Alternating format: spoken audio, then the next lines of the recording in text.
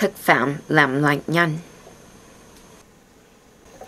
CDC, Văn phòng Trung tâm Kiểm soát Dịch bệnh, báo cáo một trong tất cả 6 người Mỹ, 48 triệu người, bị bệnh mỗi năm từ ăn thức ăn hoặc nước uống bị ô nhiễm.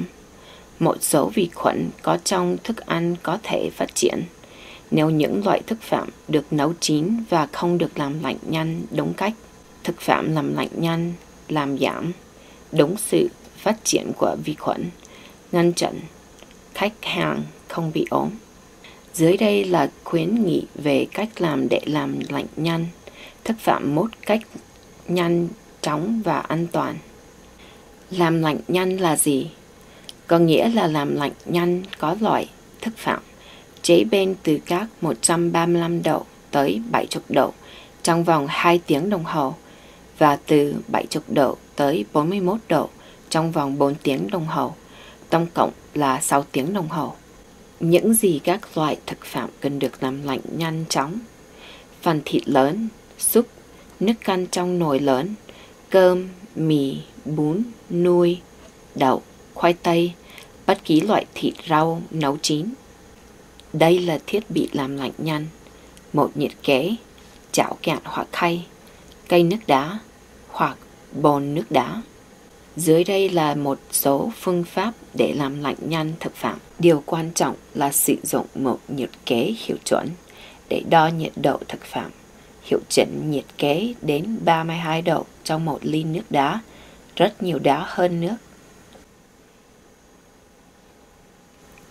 Làm lạnh nhanh thực phẩm, nấu chín bắt đầu khi thực phẩm đạt 135 độ.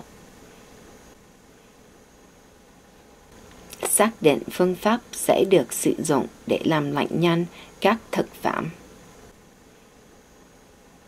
Với phần thịt lớn, cắt thành từng miếng nhỏ và đặt trong một cái chảo cạn hoặc khay trước khi đặt trong tủ lạnh. Cho súp, nước canh, nước lẻo hoặc các chất lỏng khác sử dụng một cây đá. Cây đá phải được làm sạch sau đó, giữ trong tủ đá trong một khay sạch hoặc được bao băng, giấy plastic để giữ sạch sẽ.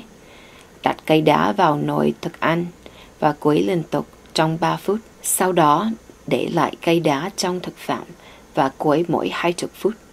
Luôn luôn sử dụng cây đá đông lạnh và thay thế, tan chảy. Điều quan trọng là đặt cây đá trong thực ăn khi nhiệt độ gần 135 độ. Nếu không thì cây đá sẽ tan chảy quá nhanh. Phương pháp khác là một bồn nước đá. Điền vào bồn rửa chuẩn bị thức ăn bằng nước đá và nồi thức ăn. Hãy chắc chắn bồn có đầy đá và nước cung cấp như các thực phẩm trong nồi. Quấy cho đều trong 3 phút và nhớ quay lại để quấy mỗi 15 phút hoặc thường xuyên hơn. Hãy nhớ rằng khi đá tan, bỏ thêm đá vào bồn.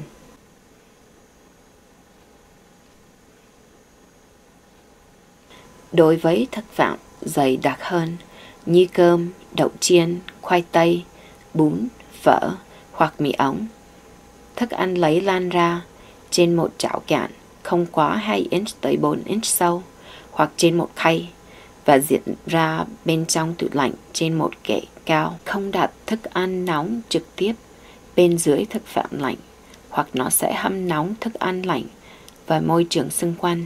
Một tùy chọn khác cho các loại thực phẩm như bún, phở, mì ống hoặc khoai tây nấu chín là đặt chúng dưới với nước lạnh. Cũng có thể nhấn chìm những thực phẩm này trong một bồn nước đá, trong bồn rửa chuẩn bị thức ăn.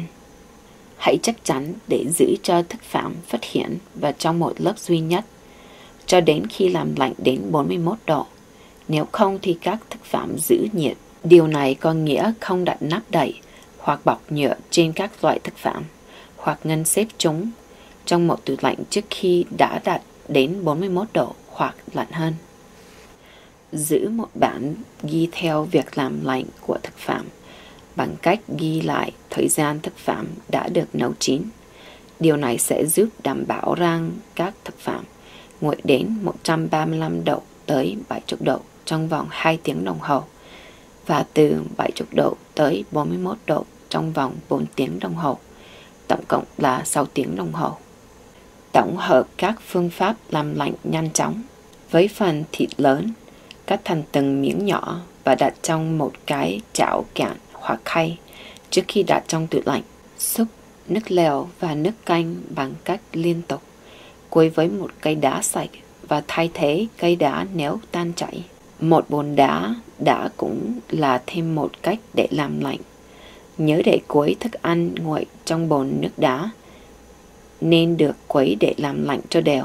Đối với thực phẩm dày đặc như cơm bún, phở, mì ống, đặt thức ăn trong chảo cạn hoặc khay và đặt trên một kệ cao trong tủ lạnh.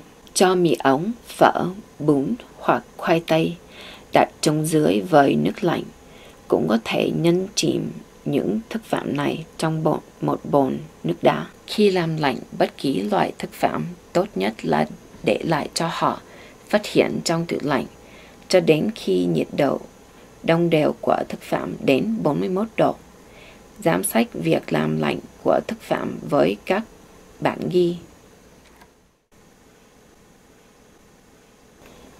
Xin vui lòng liên hệ với văn phòng y tế để biết thêm thông tin và đào tạo.